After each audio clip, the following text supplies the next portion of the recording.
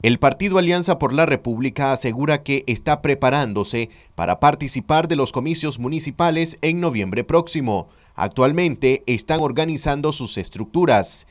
Ya tenemos como un 40% de los municipios. En el norte estamos muy bien, estamos con otro 40% de los municipios y algunos municipios en el sur. Aquí en el centro pues estamos eh, prácticamente 100% porque fácil pues en Managua con su municipio. Eh, Masaya lo tenemos cercano, tenemos gente, tenemos muchos coordinadores que están trabajando.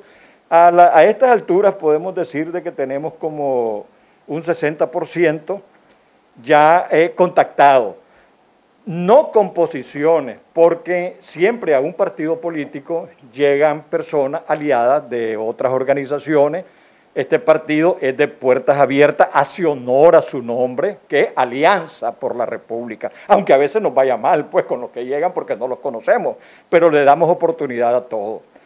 Por eso hacemos honor a nuestro nombre, Alianza por la República, sea de origen conservador, liberal, social cristiano, del mismo frente sandinista. Aquí estamos por una alianza por Nicaragua, una alianza por la República, todos son bienvenidos. Entonces, eh, lo que sí respetamos, primero en tiempo, primero en derecho. ¿ya? Hay unos a veces que vienen demasiado tarde y entonces ya los lugares están, están ocupados. ¿eh? Pero vamos muy bien, gracias a Dios.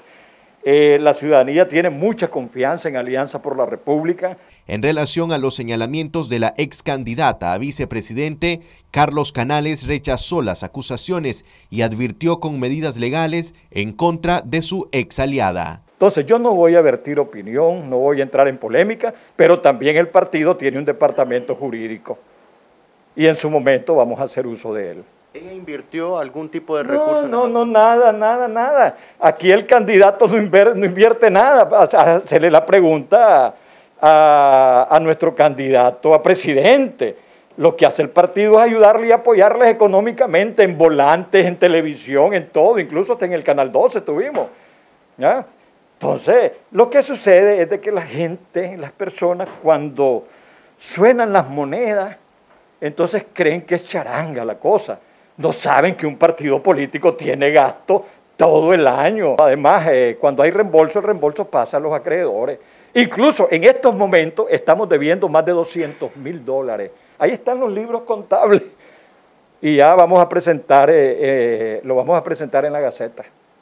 Ahora, ¿ya le reembolsó el Consejo Supremo Electoral? Sí, sí, pero eh, cuando hablamos de reembolso es que pasa, nosotros no tocamos dinero, pasa directo a los acreedores, a los que alcanzaron, porque los gastos que hicimos superaron los préstamos que hicimos. ¿Qué cantidad de recursos eh, le más, o menos nosotros prestamos ah, lo, lo, que era necesario pues para las elecciones, incluso el candidato a presidente nos ayudó a conseguir plata. Marcos Medina, Noticias 12.